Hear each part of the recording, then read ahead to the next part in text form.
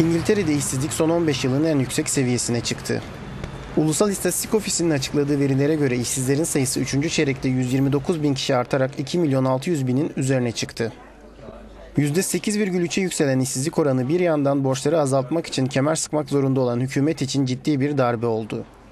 Genç işsizlerin sayısı da psikolojik sınır olan 1 milyonu aştı.